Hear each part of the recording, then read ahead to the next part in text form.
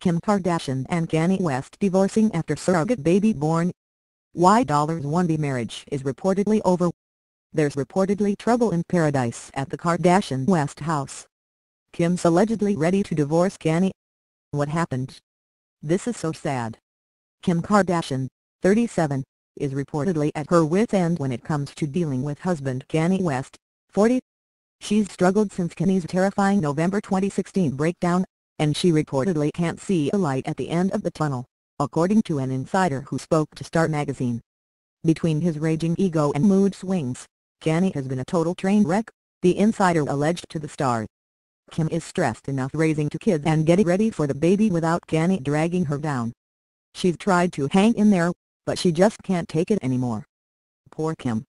We can't imagine how hard it must be to have a family member, especially your husband, go through such a huge health scare. Of course she's stressed. If they're truly divorcing, things are about to get crazy. She allegedly doesn't want to make any moves until after their third baby, which they're having via surrogate, is born. As the source says, she's totally fine raising the little one as a single mother. She's Kim effing Kardashian. Their divorce will be all-out war, the insider told Star.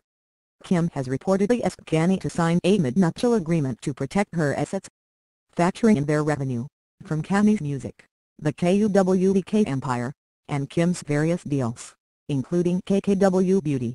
It could be a $1 billion divorce. Don't think she's happy about this, though. This decision is agony for her, the source said. She still loves Kanye, but their marriage may be over. This is so sad, considering what we just learned from a source.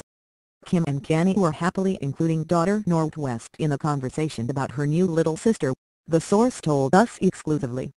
If they're truly having problems, then at least they're putting on a united front for their little ones. Hollywood Life Com has reached out to Kim's rep for comment. HollywoodLifers, do you think Kim and Kanye are really divorcing?